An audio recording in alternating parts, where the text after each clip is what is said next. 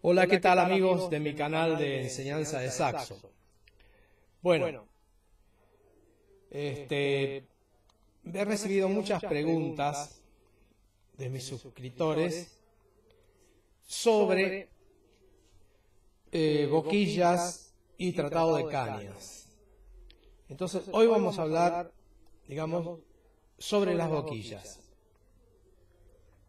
Comúnmente, en los saxofones que compramos, siempre viene una boquilla provista.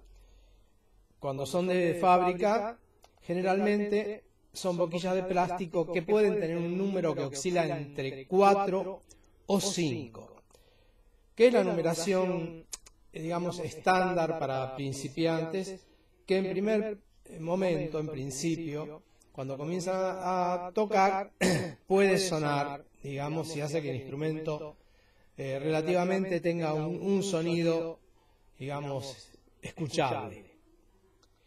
Quiero decir esto porque a través del tiempo de estudio, de trabajo sobre el instrumento, se va moldeando nuestra embocadura, vamos adquiriendo mayor fuerza, digamos, en el principio de los labios, en la comisura de los labios, la musculatura se va fortaleciendo de tal manera que vamos a necesitar boquillas que tengan una mayor distancia entre la tabla, digamos, y la, o sea, la punta de la boquilla y la caña.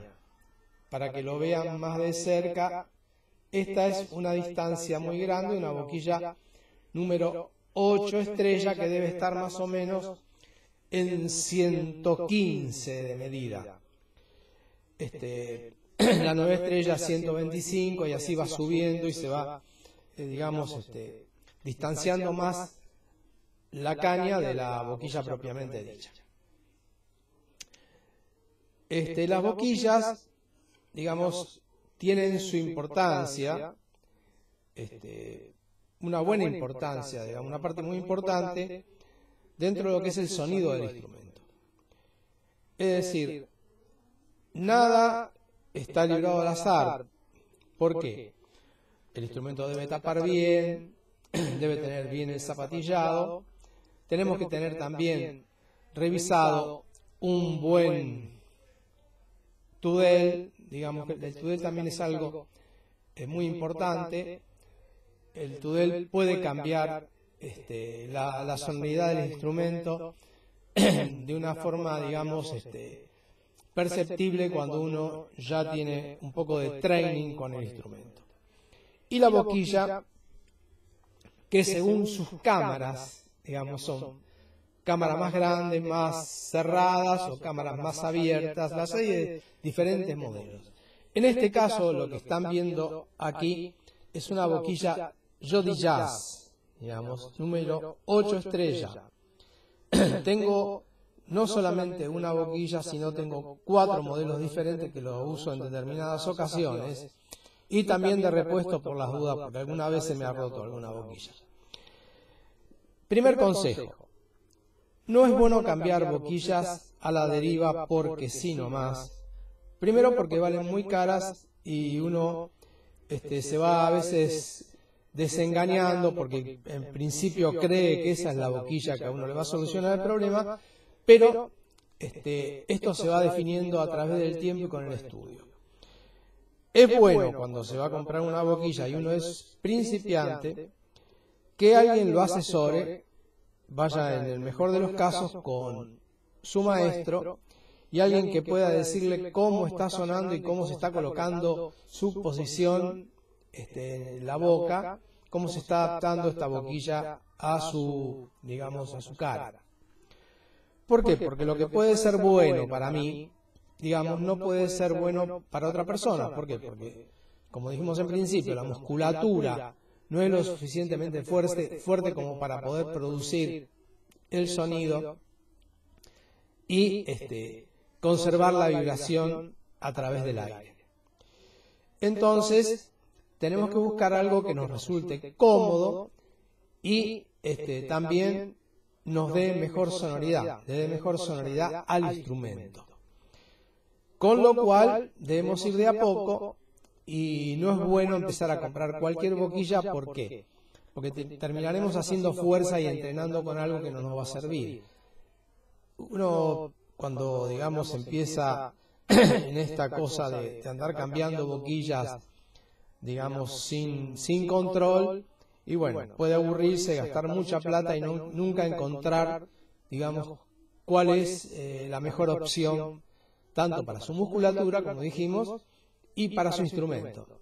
El instrumento que obedecen también con determinada boquilla y otros instrumentos que tienen preferencia por otras. También está el tema de las cañas. Hay cañas que funcionan mejor con, o boquillas que funcionan mejor con determinada caña y determinado número de caña. Entonces a veces tampoco podemos desechar una boquilla porque quizás estamos utilizando una caña que no le va bien a esa boquilla, digamos que no se lleva bien con esa boquilla, no hay buena amalgama y tampoco nuestra cara se lleva bien ni con la boquilla ni con la caña. Entonces el trabajo, digamos, es bastante este, delicado.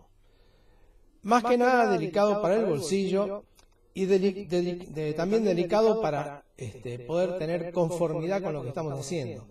El sonido debe resultar no dificultoso, es decir, uno tiene que sentirse cómodo cuando está haciendo sonar una boquilla en toda la longitud del instrumento.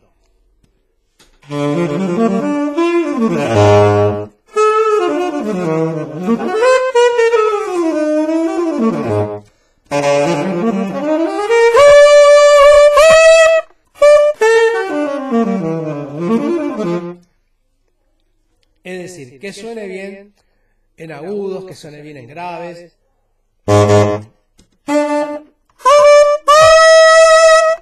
Digamos, que tenga sonido claro en toda la longitud del instrumento. Entonces, allí habremos encontrado algo que nos va a dar placer tocar y también estudiar, porque uno no puede estudiar cuando hay muchas dificultades, digamos que está estudiando arpegios y en algún lugar del instrumento tal nota suena con mayor esfuerzo, digamos, o, y otras este, aturden o tienen un filo diferente. El sonido debe acompañarse parejo en todo el instrumento, como decíamos. Bueno, espero haber ayudado con estos, este, estas advertencias en alguna forma que les sirvan para cuando tengan que solicitar alguna boquilla. También le digo que hay varias marcas. Las mejores marcas podemos tener, como en este caso que les decía, Jody Jazz, Meyer, Otolin, eh, Berlarsen, digamos, este, Van Doren también es una buena marca. Este, el mayor cuidado eh, deben tenerlo con las medidas y también eh, en su cabeza ya debe estar registrado de alguna forma cuál es el sonido que cada uno quiere lograr, cuál es la preferencia sonora que cada uno quiere tener. Bueno, hasta pronto y muchas gracias por haber seguido en este canal y haber escuchado esto.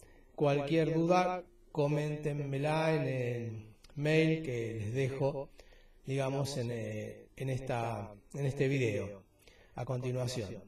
Será hasta pronto, nos vemos en la próxima en el próximo video. Suerte.